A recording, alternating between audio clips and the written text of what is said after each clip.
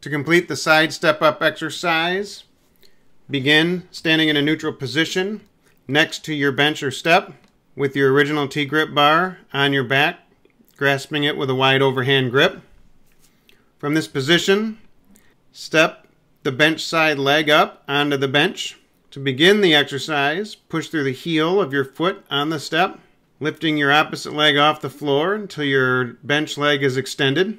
Hold for a moment, return to the starting position, and repeat the movement.